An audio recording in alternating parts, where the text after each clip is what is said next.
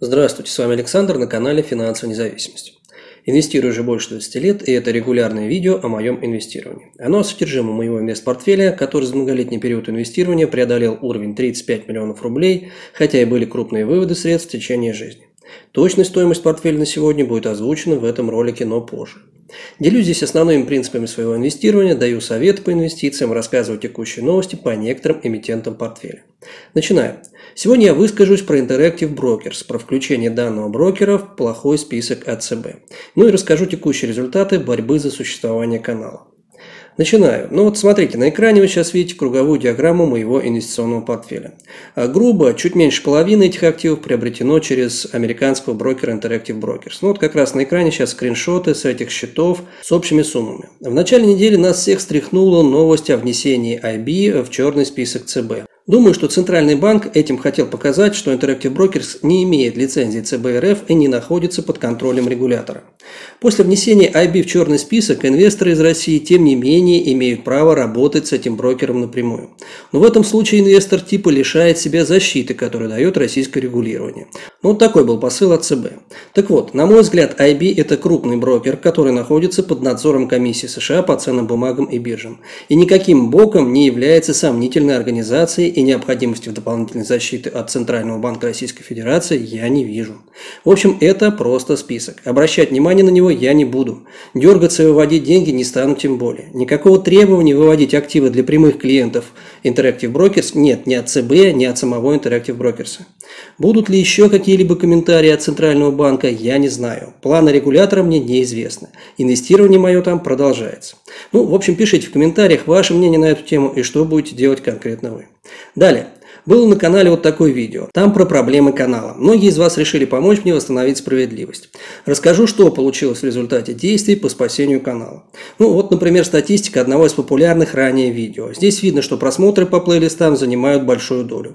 Это явно ваша заслуга, ну а то просмотры по а, рекомендациям так и не активировались в этом видео. А это уже загадка алгоритмов YouTube. Так, а вот здесь вот э, в другом уже видео, в другой статистике видно, что плейлисты присутствуют. И рекомендованные сначала подскочили, а потом активировались. Вот это прям вот совсем хорошо.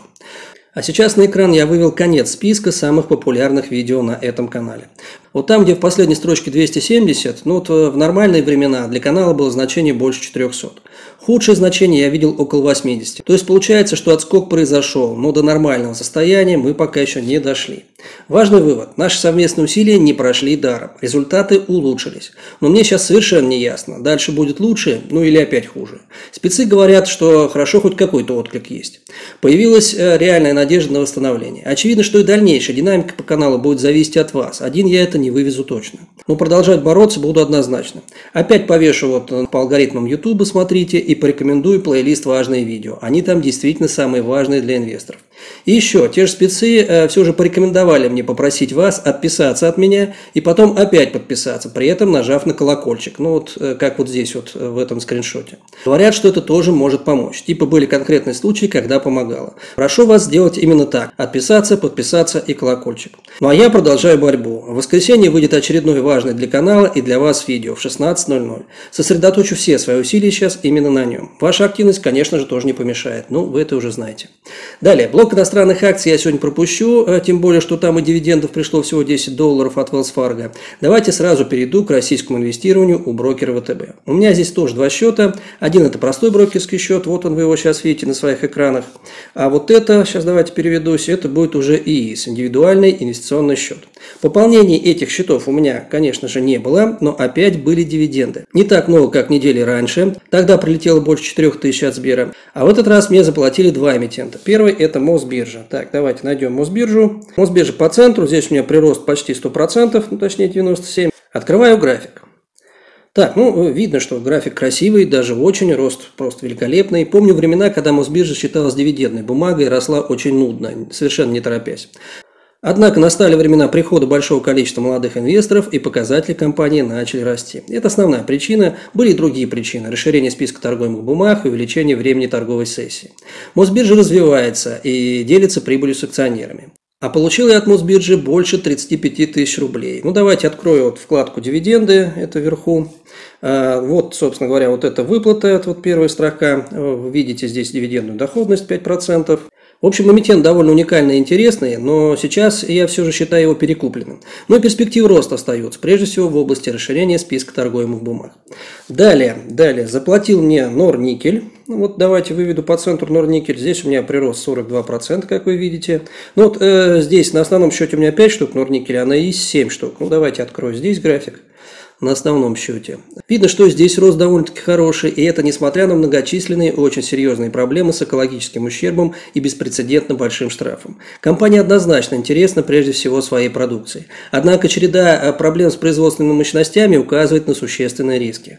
И, кстати, иностранные инвесторы на это все внимание точно обращают, для них это важно. Норникель мне оплатил 5 э, тысяч на основной брокерский счет и 7 тысяч на ИИС. Ну, давайте вот опять же вкладку дивиденды откроем, посмотрим. Ну, вот смотрите, здесь вот у этой выплаты дивидендная доходность меньше 4%. Думаю, очевидно, что выплата будет не одна в этом году, поэтому общая дивидендная доходность будет все-таки гораздо поинтереснее. Далее. Далее, что получается? А получается, что по российской части инвестирования мне упало дивидендами грубо 47 тысяч рублей. Согласитесь, сумма не маленькая. Мне практически каждую неделю падают дивиденды по иностранной части, но вот в этот раз на иностранной части только 10 долларов было, а здесь на ВТБ инвестиции вполне приятные цифры. Вот так, собственно говоря, работает дивидендная стратегия. Рекомендую посмотреть вот это видео, оно свежее, там суть дивидендной стратегии и конкретные выплаты. В общем, смотрите и убеждайтесь, что дивидендная зарплата – это не миф, а реальность. Продолжая. Полученные дивиденды здесь вот на российских счетах я сразу убрал фонд ликвидность. Ну вот, фонд ликвидности у меня внизу. Вот видите, здесь уже у меня полмиллиона рублей. В этом фонде я храню рублевый кэш. Ну, конечно же, не весь, но все же регулярно пользуюсь этим фондом. Ну, собственно, вы это знаете. Рекомендую посмотреть вот это видео. Здесь различные варианты выгодного хранения кэша с обоснованием и особенностями. Видео практическое и полезное. Так, продолжаю. Теперь предлагаю посмотреть еще «Газпром». Вот, есть несколько слов по нему. Вот он по центру экрана, здесь 70% прироста, как вы видите, открываю график. «Газпром» растет на хороших новостях по Северному потоку-2 и на перспективах роста прибыли. На графике очевидный рост, ну практически ракета. К тому же «Газпром» пока еще не выплачивал дивиденды и способен порасти даже вот на этом факте. Хотя дивидендная доходность здесь невеликая, ну давайте, кстати, зайдем э, во вкладку «Дивиденды», посмотрим. Ну вот смотрите, 4,58% дивидендная доходность за прошлый год. Это выплата по прошлому году. Но покупают «Газпром» не из-за дивидендов за прошлый год, а из-за будущих выплат. Надо это понимать. В будущем выплаты должны стать все-таки поинтереснее. Так, э, перед итогами портфеля давайте не стану нарушать традицию, быстро покажу личные расходы. Потом будут итоговые результаты портфеля всего. Напомню, расход на двух человек. Повторяю, что я показываю расход для того, чтобы был виден принцип учета личных трат. Я предполагаю, что это полезно для тех, у кого расходы равны доходам или иногда превышают доходы. С помощью такого или похожего контроля вполне реально заняться оптимизацией собственных расходов. Ну, естественно, тем, кому это нужно. Но ну, а в таблице ничего особенного здесь нету. Я сейчас взял отпуск, так как стало понятно, что в Италию я не полетел полечу. Если все срастется по сделке с недвижимостью, то туда полетит жена. Так будет логичней. Поэтому я решил потратить этот отпуск на спасение канала. Ну и на анализ документов по Италии. Хотя там с документами сейчас вроде все нормально. Так что основное время в отпуске потрачу на канал. Потерять канал мне, конечно же, очень не хочется. Активно консультируюсь и пытаюсь внедрить совет специалистов. Стараюсь реабилитировать канал. Продолжаю. Давайте теперь по итогам портфеля конкретнее. Что получилось по итогам прошедшей недели? Получилось небольшое снижение. Частично из-за снижения курса доллара, частично из-за Сбера.